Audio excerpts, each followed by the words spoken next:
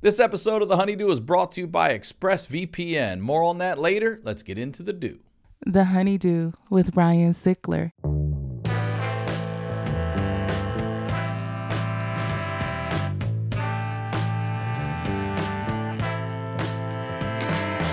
Welcome back to the Honeydew, y'all. We're over here doing it Night Pants Studios. I am Ryan Sickler, ryansickler.com, Ryan Sickler on all social media, uh, ryansickler.com and the honeydewpodcast.com are where you can go for any and all information related to myself or the shows. All right, I record here at the Santa Monica Music Center.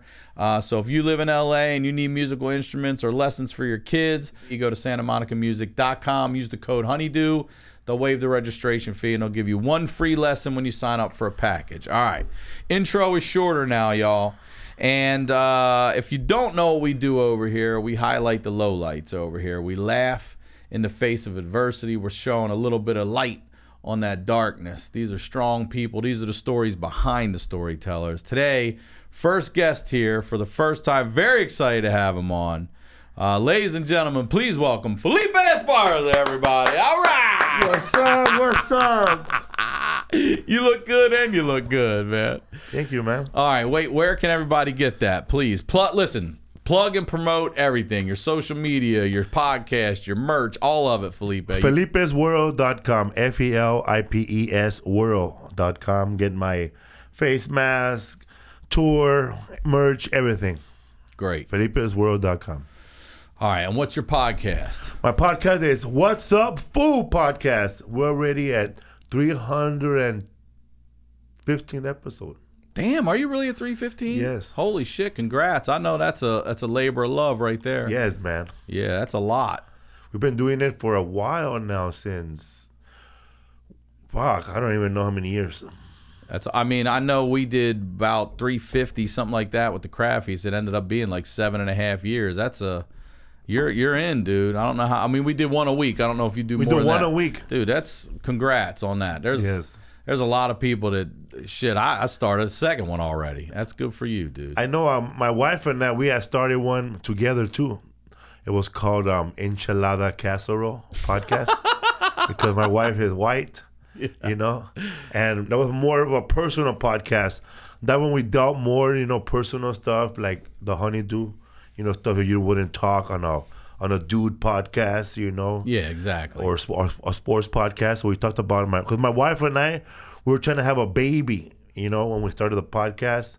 So along the way, like we had a a miscarriage. So we dealt with a miscarriage on our the enchilada podcast. We didn't talk about it in the What's Up Fool podcast. We talked about it on the enchilada, and um, we tried one time, and I remember going to the hospital, and we were so excited, and um, they, I man, you, like I had kids before, but I was not like present, you know, like a like a full dad, you know. So That's what we're gonna talk I about wasn't some of that. involved in the in like the nothing, you know. so, can I ask you real quick? Were you? We'll get. We're gonna come back Yeah. to that. I'll come back to it. Go ahead. Go ahead. So, So, you're at the um, hospital. We're at the hospital, and then you know How the- many months pregnant? three, four. Okay. Then you felt the heartbeat, pum pum, Yeah. pum pum, pum pum, pum pum, and then you go back like two weeks later, and there's no pum pum. You know, there's no pump, Man. and like the baby was already passed away inside, you know, and so we have to go through that, you know, and like having a miscarriage was like um giving birth the same way, you know. So that was the that was that time, and then it happened again a second time. Then the third one, You had two miscarriages. three, Three? Oh three, man, I'm man. sorry. It was three, and uh, Oh. it was fucked up. And uh, the third one was the toughest because um, when um, you, when you have a miscarriage, you know you have to um, get the baby out because the baby is not gonna live. It's already dead. You know, it's three months, not even a. It's a fetus. You know, it's done. And we went to this ch- this hospital called um, um Praise. Ch- I don't know the, the name of the hospital. It's in Sylmar. I, I, don't know the name of it, but it's a Catholic hospital. And very, I didn't know that at this hospital they couldn't do the miscarriage because of religious Oh, reasons. Yeah, that's right. But we had to prove that the baby was already um, not living to take him out because of, you know that's the religion. But it was tough, man, because So my wait, wife had to get a hospital because of the religious, the Catholic beliefs, they make you prove the baby is passed before Yeah. they'll remove. they don't do abortion, they don't want to be involved right. in none of that. So they had to um, get. I don't know, man. They had to call religious people and approve it to take the the fetus out, and um, then it, then I, we found out at the same time that my wife had to get a hysterectomy. Oh no! So man, everything was Man, piling so down. There goes the opportunity. Yeah, man. So that we lost everything right there. Like no more, we couldn't have a kid, and um, it was kind of fucked up. It was like during Christmas time, This last year, like three years ago. Three years two years, ago. three years ago, man. Yeah. and what did that? How did that change you? Oh man, it just like made me realize we're not gonna have a kid. But you have how many? I have three of my own already. All right. You Yeah. have three kids. And I have my Kids, How old are you now? My kids are um. My oldest kid was born in '88, I think. So how old are you? How old are you right now? I'm in 50. You're 50? Yeah. Damn, you look Felipe. Shit, I Yeah. would have never guessed that. I would never guess. That's right, cocksuckers. It's not about the hee-hees and the ha-has. You gotta put up lotion. Oh shit. All right. So how old were you when you had Oh, your man. first kid? When I had my first kid, I was like 17 or 18 you're, years you're old. young. All right. And then how old when you had your second kid? 20, And then how old the third one? 24. I don't know. I don't four- remember, All right. man. And are they all with the same lady? No different moms. all different moms. Okay. I have one with two kids and one with one kid. Okay. And you were estranged from your kids? You split from them or Oh, yeah, you were we, um, separated from them? What happened? We were living in like in um this the, the Pico Aliso housing projects, you know. That's where I grew up. Yeah. Uh, man, I had a great, you know, like I had a great childhood. You know, I had a lot of You friends. also had a wild childhood. Yeah. You did. I had a lot of friends, and we broke up. You know, um, I was not spending a lot of time at home, so she ended up like meeting someone now, like cheating on me, like behind my back for about a year and a half, like really cheating. when you already had a kid together too? yeah, we already had two kids together. Oh, two at that point. Yeah. and um, I was getting into a lot of trouble, like a lot of trouble. Like I remember, um, I couldn't be home a lot because something would happen in my neighborhood, and they, they, they would just, you know, how they would go after the usual suspects, so they knew like who to go. You were a usual suspect. yeah, even though I didn't do nothing, I just I, just get pulled in, huh? I stood out in the crowd because I had because my hair wasn't short, and um, I wore Vans or instead of instead of Converse, and um, I remember the police. Someone had got killed right outside my like, right outside the house. Like some fourteen year old kid. Um, someone drove by and shut up the neighborhood like, and he got hit in the head. oh, I remember I ran out of the house to, to just to, you know when you're young and you grew up in a bad neighborhood or, or, or wherever you grew up, you hear gunshots. You're gonna go outside after everything's quiet for the neighbors to see what happened. So we went over there to see the body, most of the neighbors, and it was just laying there. you saw it. Yeah, we, we saw it, man. How old were you when you saw it? 20, 21. Okay. But then some of us stood there too long, so the police took our names. You know, we fucked up. We he took our names to see if we knew anything. We didn't know anything. So the police are going the next week door to door looking for everybody in that list of their names to see who did what, to see who, who knows what. And I didn't know. I've forgotten that they took my name down.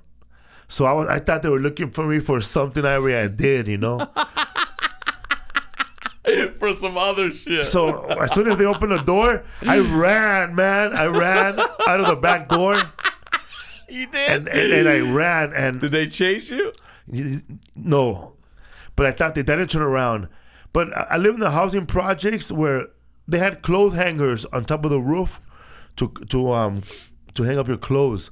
So you go up the third floor. One in every other building, you go upstairs to the roof.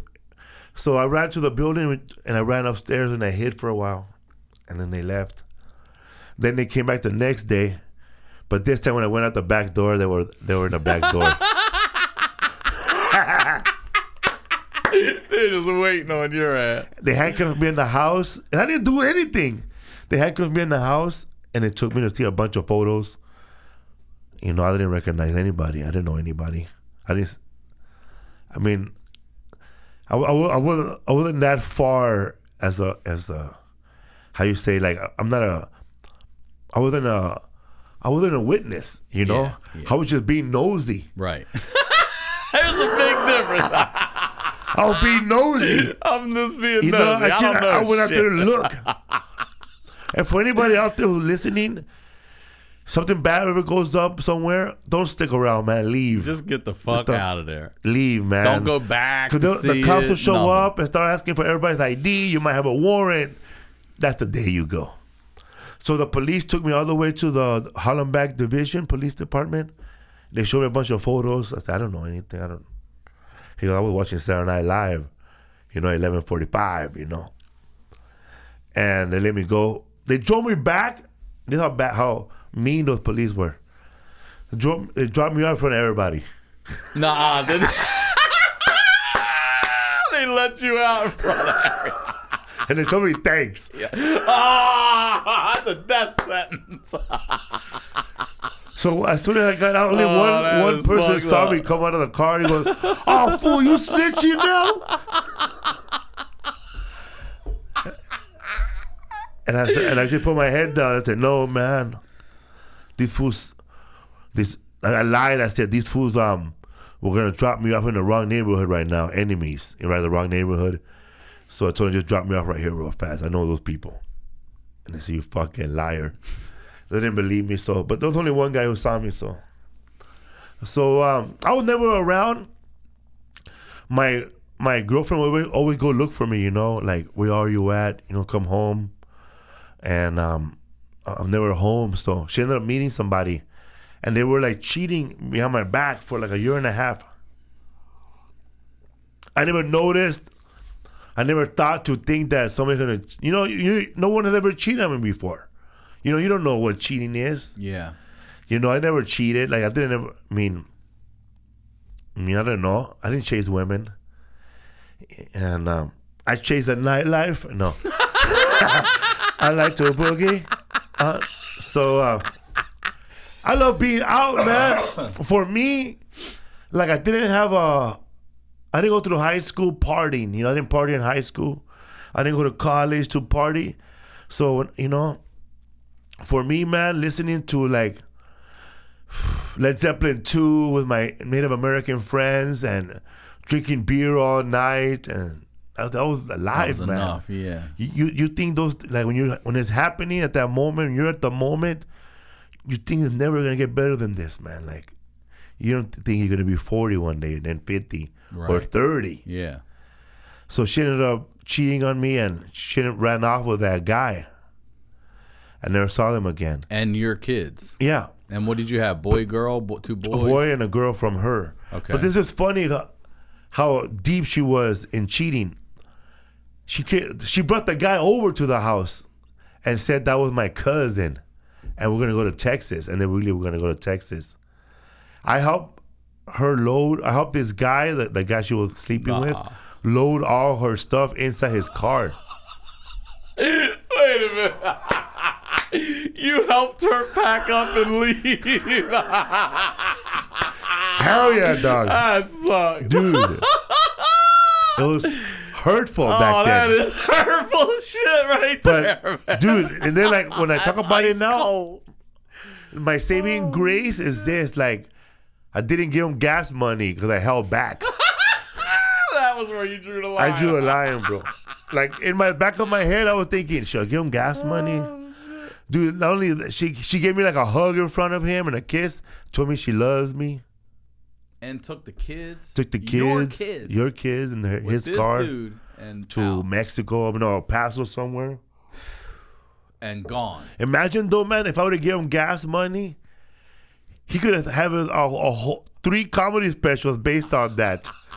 Like he would have had T-shirts, bro. It would have been memes. Yeah, he would have had. It would have been not only was I fucking his chick, this guy gave me gas money. Even the sound guy's laughing. Yeah, man. That's terrible, dude. That is Isn't that cold. crazy? So then what? You don't try to track her down? No, man, I- When, do- when do you find out What happened was, um, and she's been cheating on you and all that? When does that come out? Um, when when she started when well she found I, I found out she was cheating, um because the guy told me he did. he told me, right? when? He told me right after they had broken up, like you know, Oh. he because he, felt bad, and I remember her I like, know you fucked your back up that day loading up the truck. yeah, man. I got something else. He goes, I couldn't say." take it no more, man. He goes, when I, when I was having an orgasm, I wasn't feeling good no more. He's guilty. I goes, I gotta girl. tell you, homie. He showed me photos of her to him together, and I was like, that can't be her. She never that happy. you know, like try, try to joke around, you know, make a make a make a joke about it. I remember when she told me, man, when when I confronted her, she, she wore glasses, and I remember, man, I was sad, and I just grabbed her glasses and I broke them in half.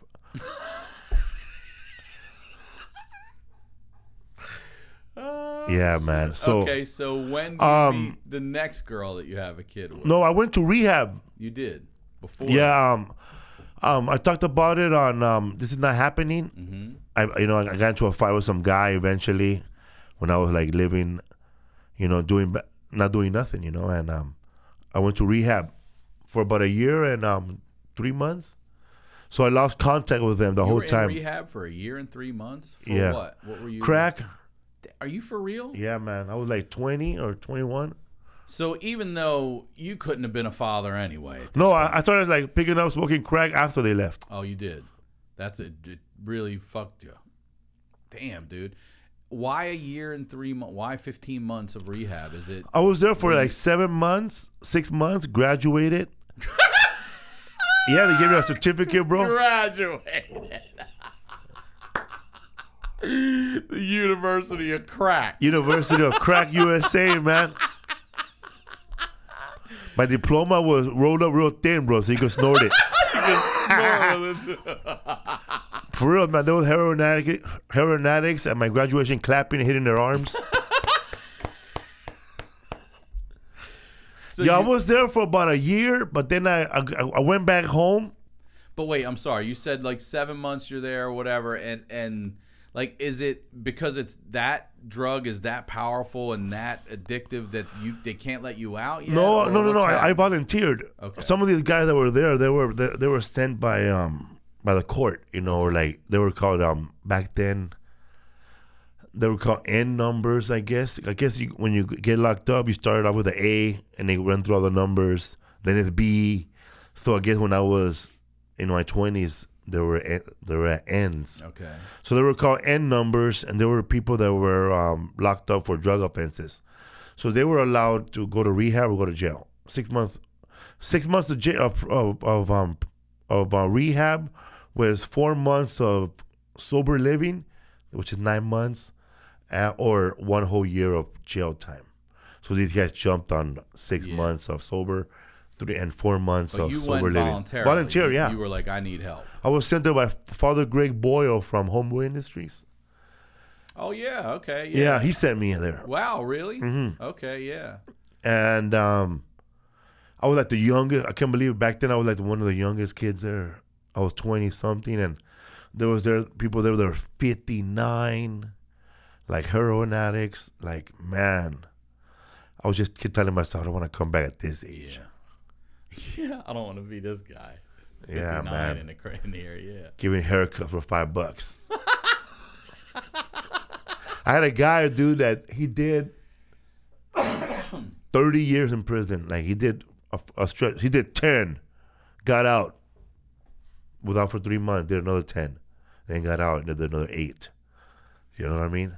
This guy cut my. He he he, he gave me a haircut with razor blades. Nah, just straight edge. Like he had a scissors yeah. and the all this. Yeah. He did it with a razor blade, dude. Like Man, He was like trust- you way 62 years trust- old, dude. He still had like a, he's still boxing. Old man. So when I come out of rehab, Father Greg t- Boyle tells me, Your daughter being baptized today.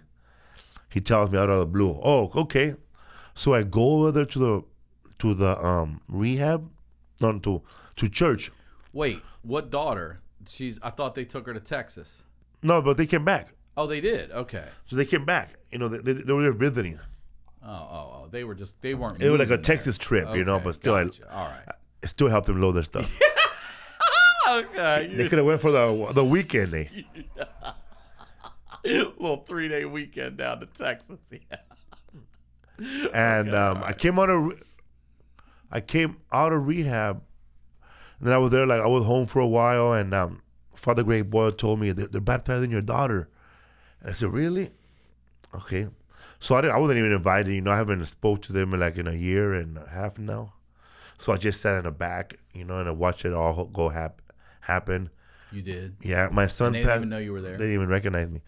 My son passed by and he didn't recognize me. Dude, what did that feel like? It felt weird. And um, then I saw my say hi or reach. You just didn't Nothing. want anybody to know anything. no, he didn't recognize me at all. Like it didn't even click on him. Oh, this is my dad. Nothing. Like he saw a ghost. Like pretty much invis- I was invisible. And then now I saw my daughter getting baptized by the the same dude that I, I was like watching the dude um baptizing my daughter, and it was hey, that's the guy who helped load his stuff. Nuh-uh. wasn't really? Nah.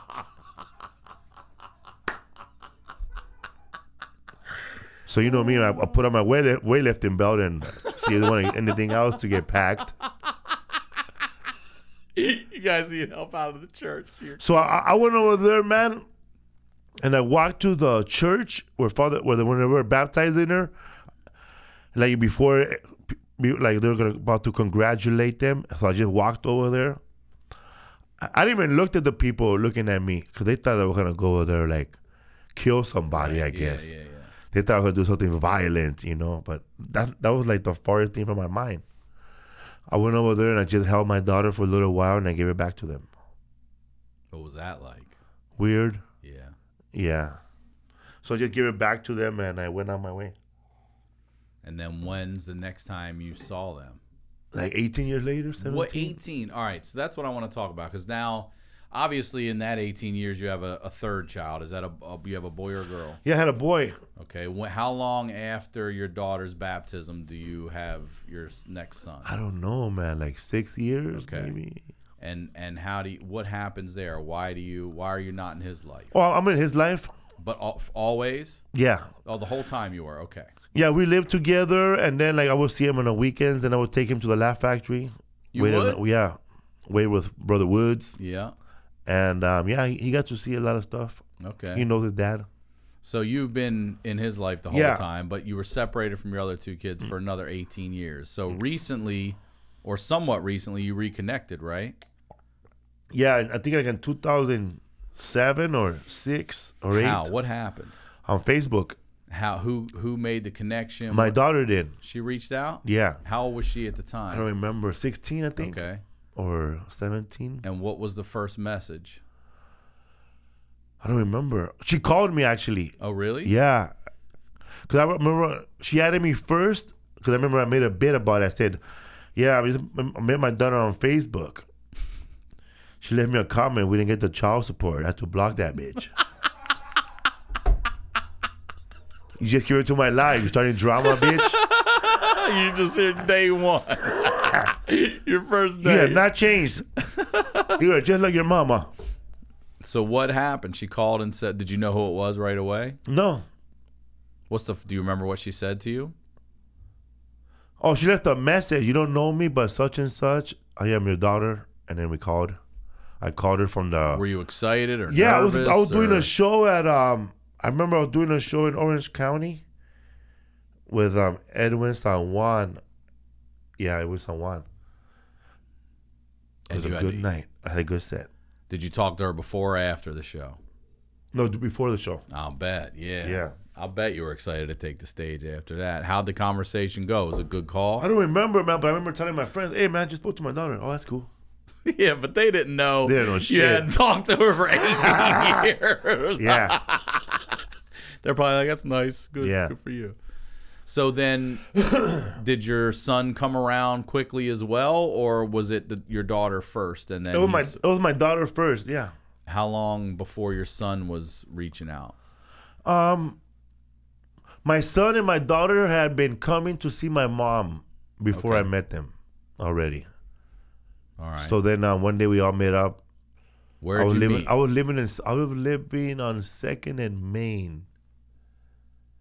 Yeah, I was living on Second and Main. I remember I was sharing a loft with another comedian. That shit was expensive.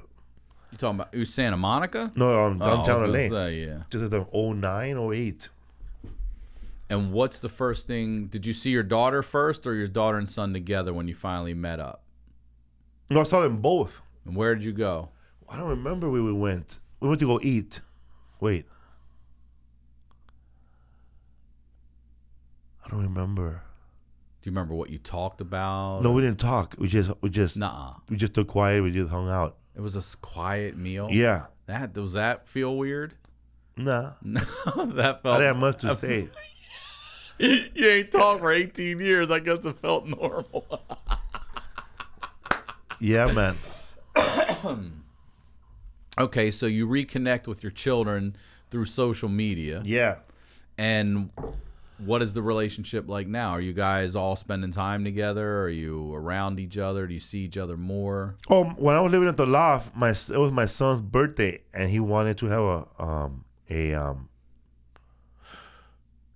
No, we're gonna go have Thanksgiving at my mom's house. So my daughter came over, and we helped. She helped me clean up my whole loft, and uh, we baked the cake. So I thought that was the first time we ever did anything together. That's nice. Uh, We baked a strawberry cake, Yeah. like a good ass fucking strawberry cake. man. I read the whole recipe, bro. Like, I let my daughter know that I know how to cook. So it was about. We went to our mom's house, just her and I, and um, that was that one time, and we had a birthday party at my my loft for my son. I remember that because he wanted chicken enchiladas, so I had my wife make them enchilada casserole, and we made. I made. A, he wanted me to make him a cake, and I made him a banana cake. Damn, are you a good baker? Yeah. Are you? I just followed the direction. Duncan Yeah. Hines. But you like it. Yeah. Yeah. But you know, like a lot of the a lot of the Duncan Hines, a lot of the other stuff. But when you go when you go um, look for the, for the cake recipe, it tells you to use the box. So yeah. and then you add extra stuff to it, like banana, the strawberries. But this is cool. Um, I had a friend that uh, was a DJ at the time, and he brought his karaoke stuff. And my daughter and I, we sang um, that Grease song, "Summer Lovin'." Yeah. happened this way, and it was good. Like it was like a bonding moment. And another time, my other son and I, we hung out with my daughter. This is funny. Uh, we have a car, so we went on a train to down to Universal City Walk. And we just hung out, the three of us on a train. I remember asking my son, um, you, "You think um Tuesday re- thinks knows I'm her dad?" What's your daughter's name? Tuesday. Tuesday. She All goes, "You think she knows? She thinks she considers me her father?" And my son says, "Well, she calls you Felipe."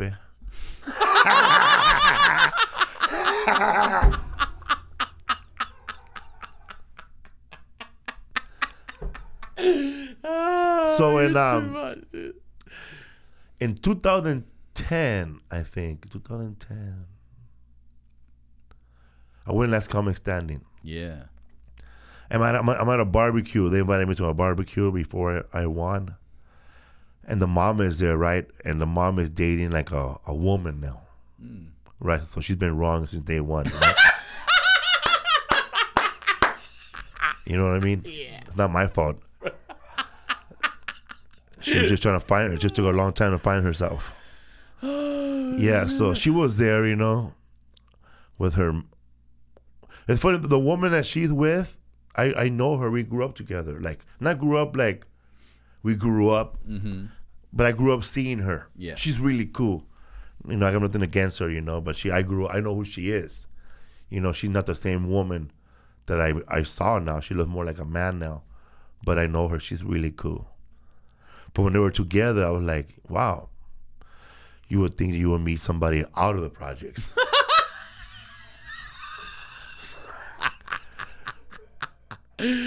Oh shit. So what was it like for your kids when you So- won last comic? well, I won last comic standing, And I'm thinking, wait. So the mom filed for child support the next day. Nah, Yeah. the next day. hundred and eighteen thousand dollars for Just not, threw a uh, not- number at you? No, man, because I didn't pay no child support and those kids Oh, were this born. is all back for two. Oh, okay. I yeah, see. and when you owe child support in California, it's not like other states. It accrues interest. So if you owe like seven thousand, if you don't pay the whole year, by the end of the year it's nine thousand. Shit. And then like you don't pay that nine thousand plus the seven thousand for next year. I was sixteen plus another three thousand. Just compounds. now you owe twenty thousand. Right. So um, She hit you for how much again? A hundred. for two kids, man. So um, um, everybody at NBC was really cool. So they told me that um, you know that they're trying to, someone just filed a child support case on you, Nah. and I said, and, and, and I. And I, I like I didn't know I like I didn't know I was like say what? don't go there. I said I don't know what you're talking about. Oh, goes yes I did I do have two kids somewhere. So, Then she said, I "Well, so um, NBC like they coached me because they're cool, man. NBC, they told me to go and get yourself incorporated first, and then we'll write the check to the corporation, and then you can write yourself a check to the child support. You know, that way they won't just grab the whole money and then give me my share right. because they could do that. So I give them, I paid my child support and um, You paid what you owed. What I not, owed, not the everything. hundred and eighteen thousand. yeah, that's how much I owed. Two kids.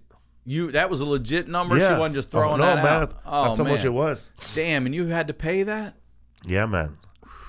in one lump sum. One lump sum. Oh man. and then I have to pay the ten percent to the agent.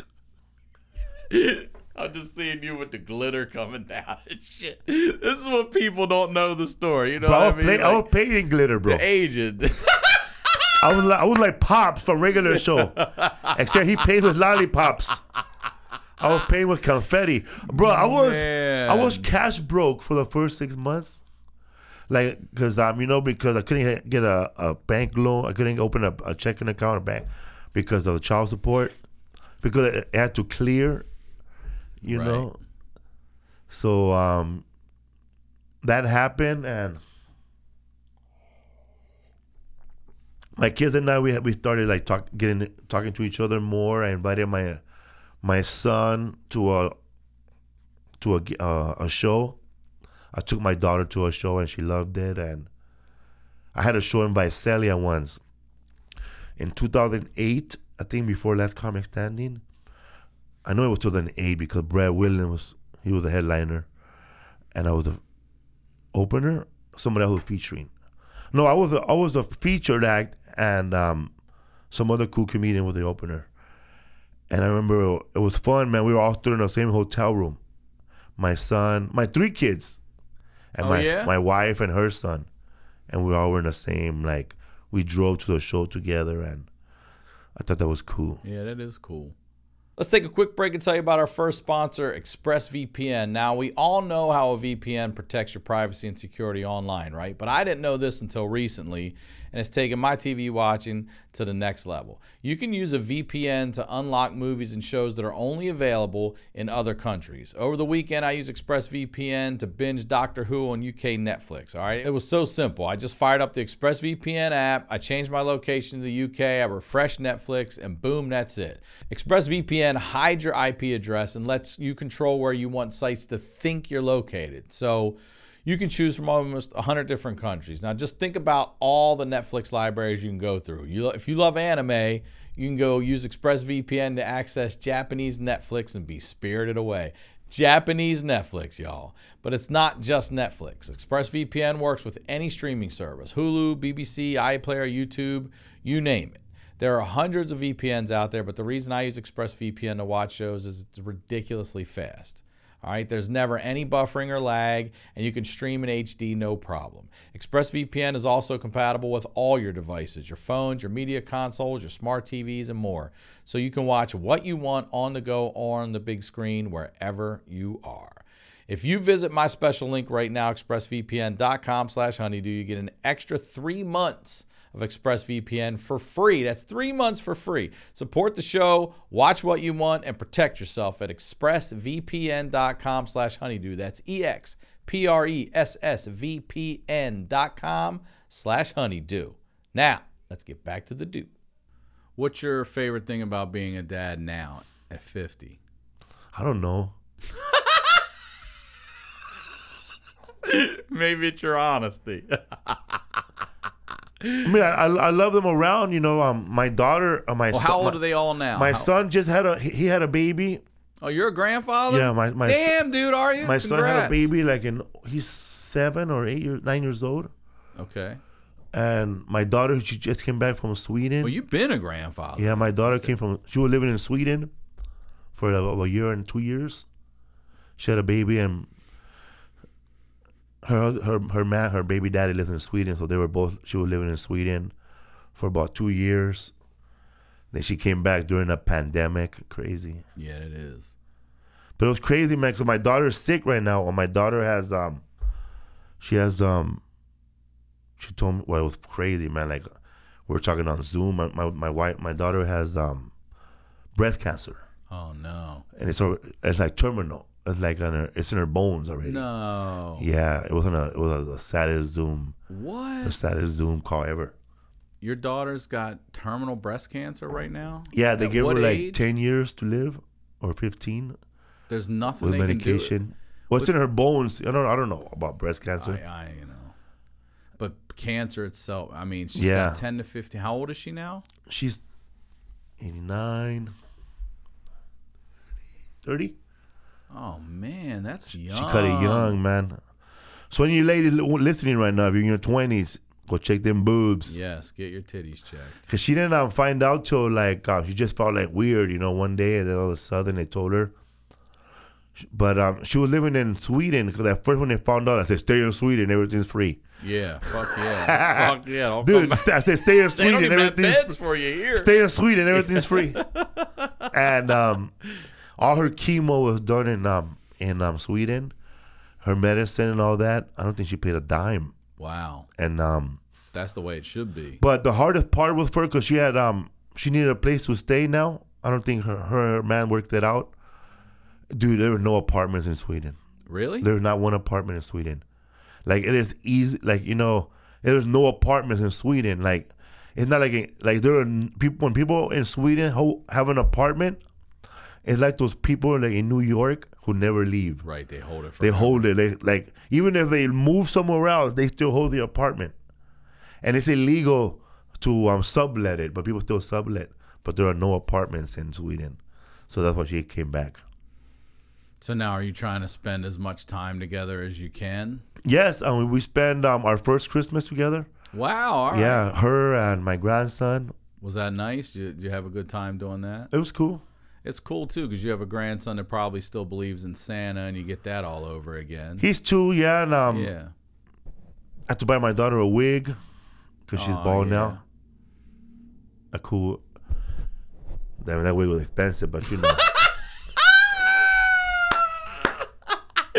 You should get her a wig. Like you should sell your. That's what I was thinking the other day, man. Like, I was thinking, like, I was like, you know, I, I was watching this video about like somebody, someone's daughter has breast cancer, and he, he called his hair bald, his, hair, his hair completely bald, like in honor of his daughter.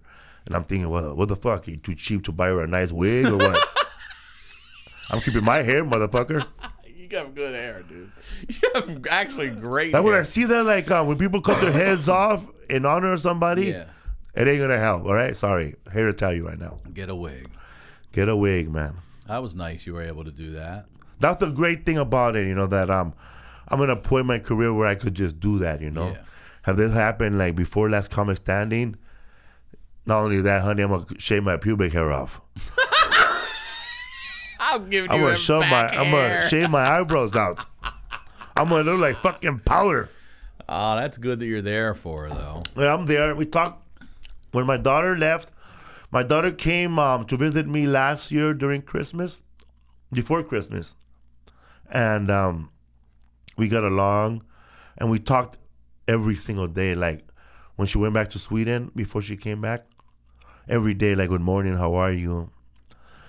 It's weird because in Sweden they have like a dark, dark, dark nights Yeah. forever. You know, I thought I, I don't know what I Like that live like- Alaska, Yeah. like 23 hours of darkness or something like that. Yeah. So my daughter and I, we like speak every day, since um the last time we saw each other. So yeah, she's here now. But when she went to um when she went, this is the first time I told anybody about that. By the way, I don't want people like like, oh, what can we do? What can you do? Yeah, you can just love hard and That's live it, man. and, and enjoy each other. Tell jokes. That's it. That's what this show is all about. Like I, I, I made her laugh the other day. I said because um, I have a bit now. You know, like some because you know like one of my shows was sold out, and somebody sent me this email. He said, "Can you help me out, man? We're trying to get to your show. It's my wife's ninth anniversary, and she has lupus. Her mother died of COVID nineteen. My brother was killed in a drive-by shooting. Is there any way you can help us out?" And I emailed that guy back. I said, "I'm sorry, man, but I cannot have that much bad luck in my show." I'm thinking the same thing. I'm like, I don't I'm know. sorry, man. I'm scared to be around. I don't do I don't do spiritual cleansings, man. There's not a, a egg big big enough to roll over on your bad luck family. I can't be I can't be having a good time, bro. While everybody laughing, I look over there and you're you're feeding your mom, bro. I just not I cannot. If someone dies on the way home, I'm gonna be blaming your fucking shitty family, bro. I cannot have it. I don't blame you one bit. As you were hitting the list, I'm like, I wouldn't even go near this motherfucker. this black cat right here. Fuck this shit. I don't like, they're like, what the fuck? eh? Hey, don't bring that shit to me. To What- what live is- under a ladder? I mean, god damn. I, I saw Apocalypto, way. Fear is a bad disease. I would have been the same. I'd be like, good luck to you, brother, because it sounds like you're in for it. Uh, I'm sorry, man. Hey. oh, I can't be looking at your family over there, bro, and somebody has saliva, bro. Now, how about your kids? Does your do your all three of your kids get together? Do they talk? Yeah, they, they do actually. My Yeah. my uh, my sons they they they they um text each other. That's good. And their kids. Do all your kids have children, or just one Just two of them. Just two. Just two okay. of them. Man, that's great. You're a fucking grandfather. You got a lot going on, and you got time. That's the other thing. You have time. Yeah, man. You know, you have time. You don't have to wake up one day and it's, oh my God, you've got time. And now, what do you do at that time? And how do you make that count? I know, man. Ever since the pandemic, I've just been taking my acting class on Tuesdays on Zoom. Mm-hmm. I got to be on Superstore for three more episodes Very before they nice. cancel the show, Good. and um, I did a movie with the Guest House last year, Oh yeah, okay, that's right, that's right. Yeah, yeah. and that Steve Byrne movie. Mm-hmm. But I did a movie during the pandemic with a, a Mexican actor named um, Omar Chaparro, Mm-hmm. and um, it was a box. It was good, man. Is it a comedy or It's a serious movie. is it? I, I noticed it was a serious movie when um, they started taking taking away my funny lines. Oh really? They were Yeah. written first, and then they started scaling back. Yeah, and then the scene got too intense, and then my, I was like ready for my line, and then my li- my funny line would look more like in bad taste. Ah, yeah. Like there was a scene where where um somebody they're, they're, they're, they're yelling at somebody, right? And then somebody gets beat up, eh? And I was supposed to say something like, um, yeah, brown lives don't matter.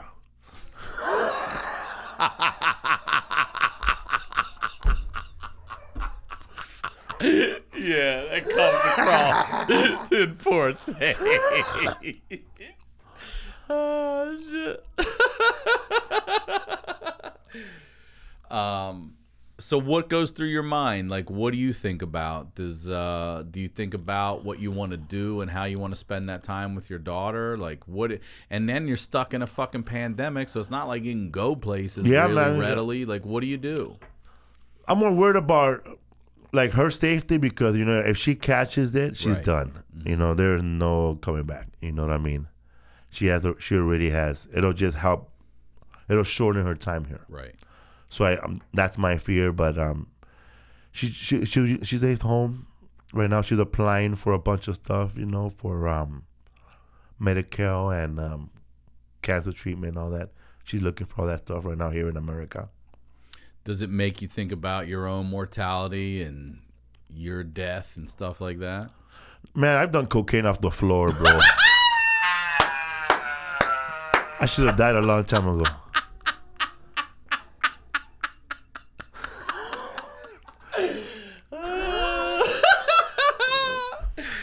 Oh man, I love you, dude. That is great. It's the truth, though. I bet it is the truth. Like when it's time, it's your time. It's your time, Felipe. Yeah.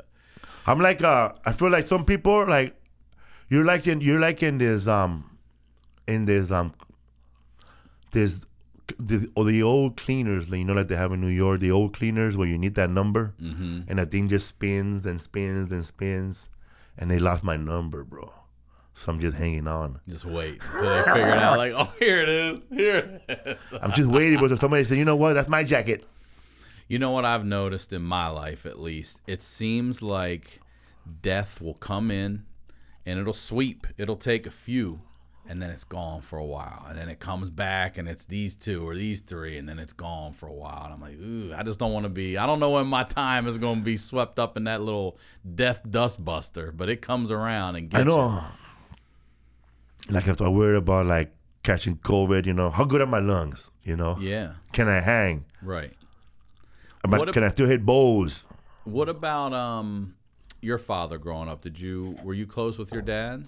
Yeah, my, my dad was always there. My dad, uh, growing up, he, he worked for a company called Pike, P I K E, and he was a, uh, a arc welder, I guess. He wore he wore the mask, Yeah. and my dad was my dad worked every single day of his life, I guess. My dad helped. My dad was part of the team that that um that um welded the Panama Canal. No shit. The Pana- the Panama Canal was a project, as an American project, but people think that it was made in the it was built in the Pan- Panama. No Right. man, that that job was most of those metal shot the metal part of the job were all melt were, were all put together in America, and then they shipped it to to Panama to put it I didn't together. know that. Is that right? Yeah, So they assembled here, or, it was assembled here in America. and then sent there Yeah. to be finished. yeah, the no shit. the metal parts were put together in America. The cement was done over there. gotcha. And your dad was part of that. Yeah. Wow. My mom told me I didn't know. Yeah. I thought he just went to work every day. My dad was one of those dudes that will get, that will get dressed up. On my dad would get paid and get dressed up on Friday night, and then we would never see him again till Sunday. Oh, really? He'd just go out and rip it up. That's maybe where you get it, the nightlife. Yeah, man. I, like you know, when, when my dad had on, when he was dressed up, you know he was not gonna come back. So when do you, at what age for you do you really start getting in trouble? Like in trouble. Like what kind of trouble? Well, just in the neighborhood and running with the wrong crowd and, you know, Probably. Well, you said you were a usual suspect. Of Well, what I would age do you that, start um, getting in trouble? all my friends, we st- all my friends that were that I grew up with, they are in, most of them ended up being bad. But I already knew I, I was already running with them since we were twelve, Right. so we kind of like grew into it. But I didn't go down As that path that they did. You know, How old were you when you first got arrested? I, I I got I never really got arrested, man. I got arrested for like lying. You know, like one time I was afraid, so I used my brother's name, Okay. so I got arrested for his name, You used his name. and he had more warrants than me. that shit backfired. oh shit. Or I would get like a, uh, I would, I would be in downtown LA and I run a red light, you know, like walking, and there's a cop there give me a jaywalking ticket, and I throw it away, and then like five years later, you know, that's a warrant. I didn't Is it know. really? Yeah. They put a warrant out for you on that? I didn't know they put a warrant out. Because I don't know how much a warrant was back, how much a, a jaywalking ticket back then was a hundred dollars, but now they add a a seventy percent assessment to it. No, a hundred, a seventy percent assessment or a hundred and ten percent assessment. So you have a warrant for five hundred dollars, but when you get there, with the court charges and everything they do to the warrant, it becomes twelve hundred. Damn. You gotta make the money. And if you don't pay it, you're going to jail. Yeah. There on that spot that day when you didn't plan on you had shit to do later. Yeah. Yeah, so I, I got lucky.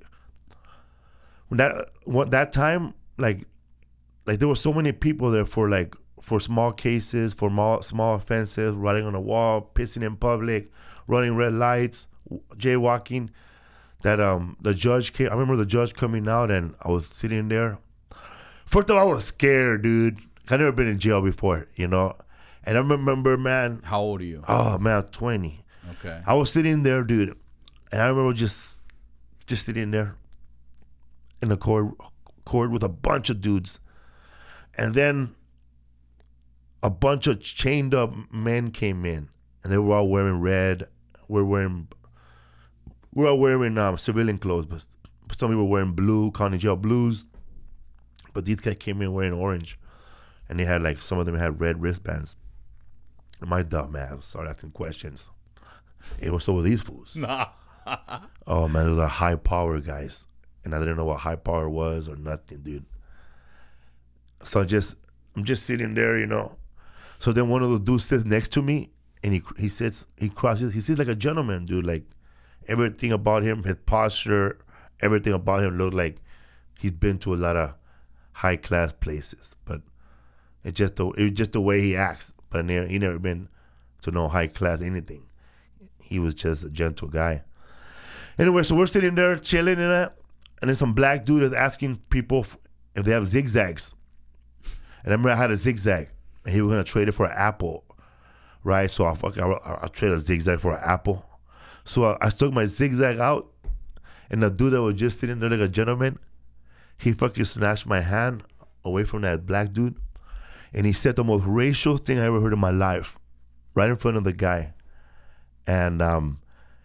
And he said, just don't give that, don't give this guy anything. Or fuck this guy. Right in front of him, fuck this guy. And I just put my hand down and shit right there. And I, and I didn't do nothing. I just, I was scared as fuck. I didn't want to, I didn't want to leave now, unless that guy said I could leave. So, yeah. so I, I wasn't, I, I didn't know there was prison politics. You couldn't talk to another racial, another race, or nothing like that. So after that, I just learned right away not to talk to anybody. So that dude right there became the only guy I ever spoke to, and he would just he just told me that. Um, but the man, this guy said some wild stuff, man. Is Like he a white dude? Mexican dude, Mexican dude. like And when you say high power, was he high ranking? no, like- high, they were murderers. That's what I'm saying. They like were all gang, murderers. all These guys were all murderers. They all were of them. all of them. They just happened to have traffic violations too. Uh-uh. So they were out, and that's when they got. They, they all came on- in in a bus. They all came in in a bus. They came in like we were already in jail. These guys came in at four in the morning, and then they were shipped in. But it was crazy, man. Like um, that guy, he didn't. When like as soon as that guy said that, that guy knew it right away, and his eyes said, "I'm sorry," and he just went about his business. How long were you in there? For eight hours. Eight hours. In eight hours, I learned everything there is to know about prison. What's the craziest shit, or, or some of the craziest shit you've seen growing up in your neighborhood back in the day? I know you came on the Crabfeast. You had wild stories of your growing up days. I'm trying to remember. Um, I saw this guy, man. This crazy. There was this guy named Wolf. You know that, that- that's his gang name, his real name. I never knew his real name. This guy was man. This guy was huge. He was like. He had like little legs, but he had an upper body strength. he like he had a he had a he smiled, and he had a ruby in his tooth. A ruby? A, ruby, like a red, like a like you know, a bling bling. Yeah, yeah. But yeah, it was, it was like a, a, a it was like a, a gold plated around the white part, but inside the white part, he had a red um, ruby. And um, I saw I saw this guy, man, um, and where I lived, there was housing authority police department, and there was LAPD housing authority. They were they patrol the housing projects, LAPD the whole city. But housing authority goes inside the projects. LAPD cruises outside of the projects. Okay. But the, but um, housing authority police they have the same authority as the police as the LAPD. They could didn't arrest. that. They could shoot. They could, can? yeah, they have guns. And um, so I'm I'm just chilling, man, and whatever, man. I'm at I'm little dude. I'm 12. I'm at the bus stop, just sitting at a bus stop, watching the world pass by. And I see one of Wolf's friends just walking, and he's arguing with a police officer about something. Then a police officer grabs him and tries to handcuff him. And then I see the other police officer, um, um, that guy Wolf grabs him by the shirt and starts pounding him, man. Wolf's beating one of the cops. Yeah, man, beating his ass, and and then they, the, the other cop comes and hits him in the leg, Those little ass legs. and he don't even move, bro. Hey, those legs stood up. Oh man, and he he stretches a billy club from them, and they're beating the shit out of him, and fuck, man, ow. I practically peed on my pants, You're man. watching this dude. watching this dude, down. watching his violence, I was in shocked. I was shocked, man. Like PTSD and shit watching Yeah, this. yeah. I don't know what's going on. And um I I, I fucking like I, I put it behind me, whatever. Every time I see that guy Wolf, I would get scared. Like, is he gonna what what, what else is he gonna do? You know? I saw him fight this this black dude named Bra- this black dude named um, Ryan, I think. And they were one of those fights, bro. Like, you ever seen the movie um those street fights? Like They live. They with Roddy Live, Piper and or Every. Which Way But Loose. Yeah, yeah. you know those kind of fights that last forever. Yeah. And um, I saw somebody pour gasoline on that guy Wolf, What? and that guy said, "Listen, man, if you don't stop, I'm gonna catch, light your stuff on fire." Holy.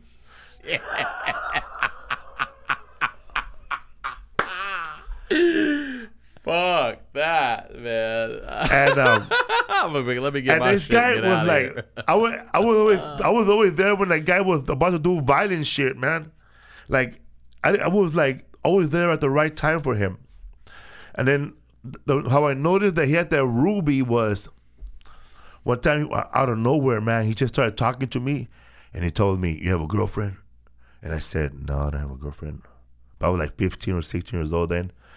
He goes, "You gotta eat their pussy." He's telling a, he's like a grown man telling a 16 year old kid they gotta eat their pussy. And I said, and I asked like a dumbass, how?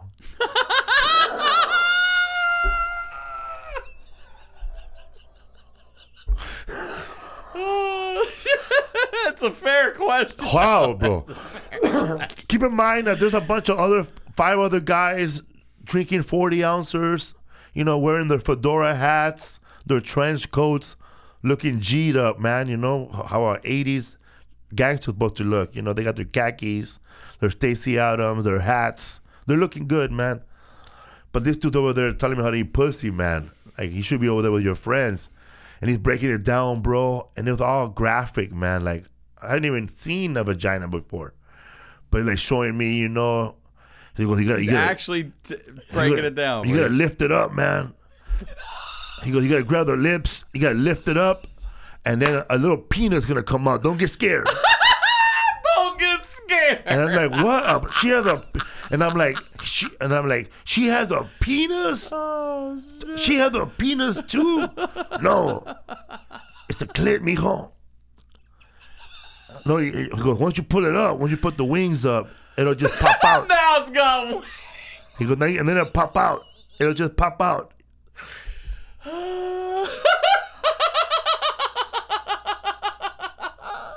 So then he just, then you go like this, man. Like when he, I see the ruby in his mouth. That's and he starts doing it. his tongue, you know. That's a, that is a creepy ass way to find out how to eat pussy. It was gross. The wings are killing me. The wings. It's got wings. Yeah, man.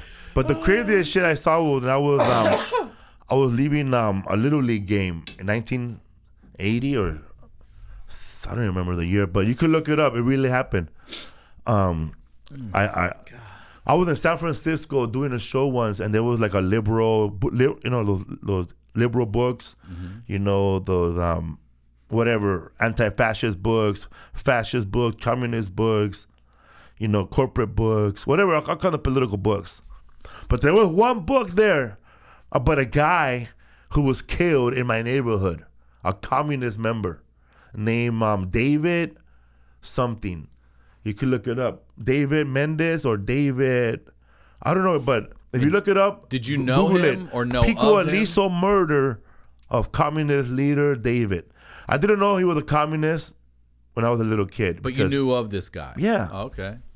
I was riding my little sh- my little uh, Huffy with a little um s- uh, li- little streamers on the side of the thing, and uh, my friend had his PK Ripper, you know, whatever, and we were just cruising. And there were these guys that would come to my neighborhood and protest all the time, but we didn't know who they were. We were too young. They were, we just called them the kids, the, the dudes with a red flag, because they would come with a red flag. Okay. And but I didn't know they were part of the Communist Party.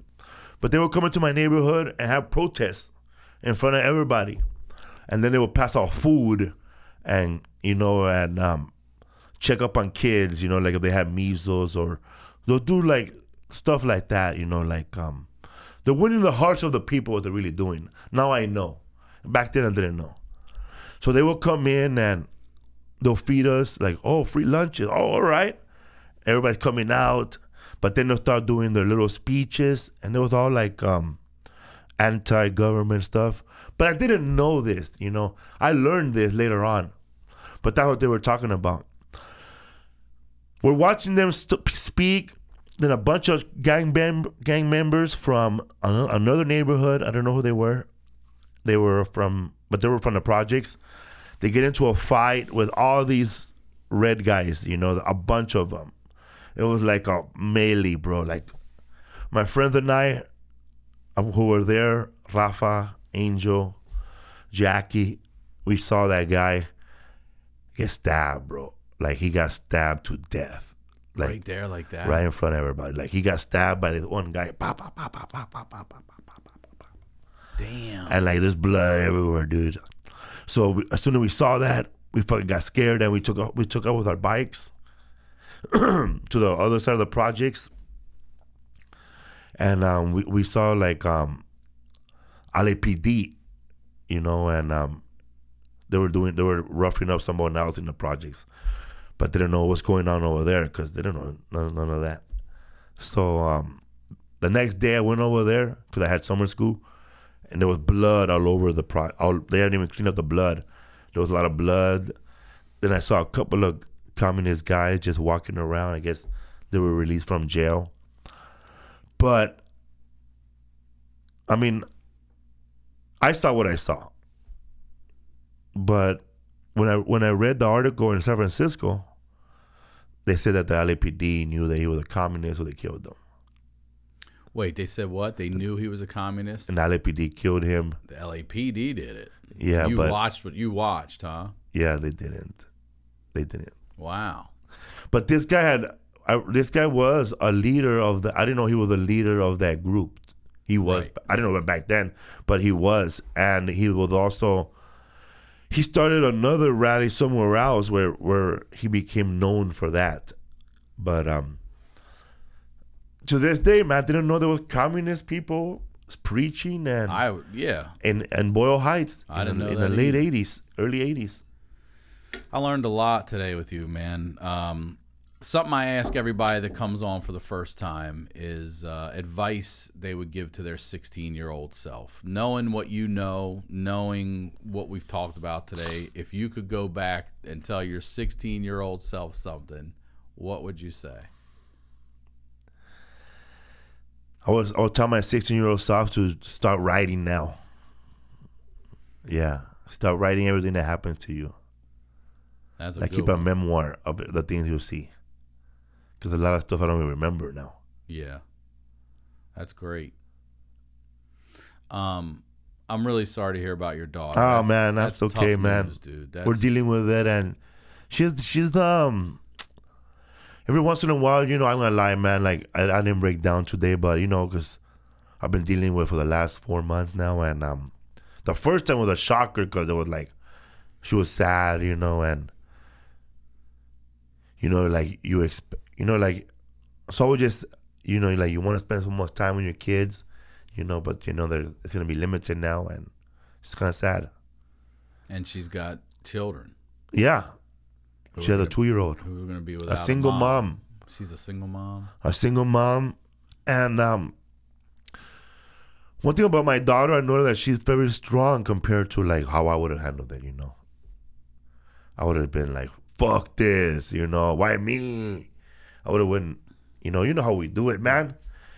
As a drug addict, you try to find any excuse to go back to using drugs. So I'm glad I didn't go back to using drugs this time because Yeah. it would have been a perfect time.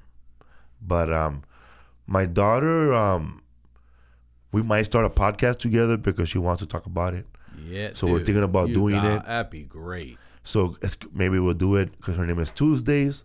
So we'll call it we'll call it Tuesdays with Tuesday or something.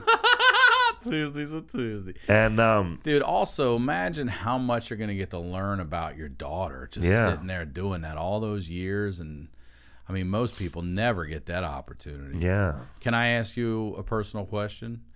Um, will you take your grandson? Who's gonna take care of her son? Oh, What are that's plans for when that? my when I when my daughter and I when she told us that she had um, terminal cancer and it was in her bones already, and because at first I thought that okay breast cancer okay maybe she she might lose a boob.